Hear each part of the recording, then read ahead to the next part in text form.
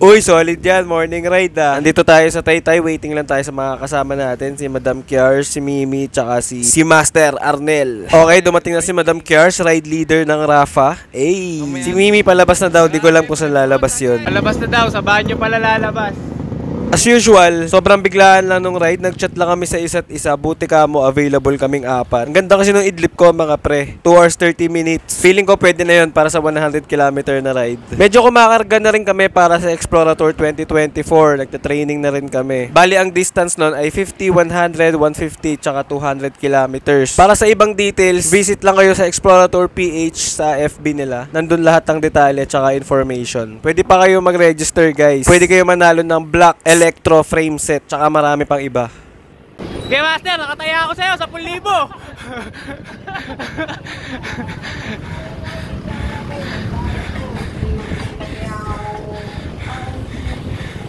Ayos, champion ka.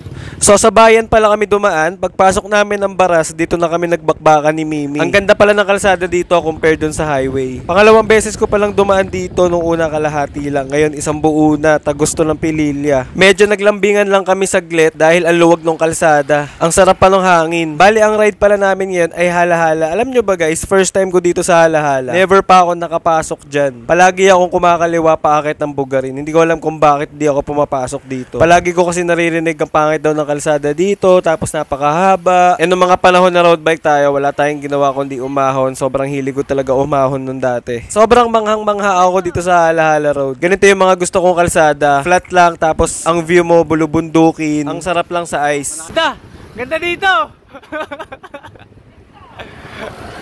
Taki na, ganda! Ganda dito, yo.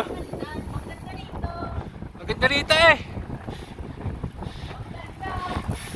Bali, binabaybay lang namin tong kahabaan. Tapos titigil lang kami sa bikes and breakfast. Doon lang kami kakain. Yun na yung pinakadulo namin. Tapos babalik na kami. For sure, next time, babalik ako dito sa Halahala. Iikutin natin. Ahon tayo na mabitak para puro lusong na lang. Para sa mga gusto sumali na Explorator 2024, ilalagay ko po yung registration link sa description. Para makapag-register po kayo, mabasa nyo yung details and mechanics.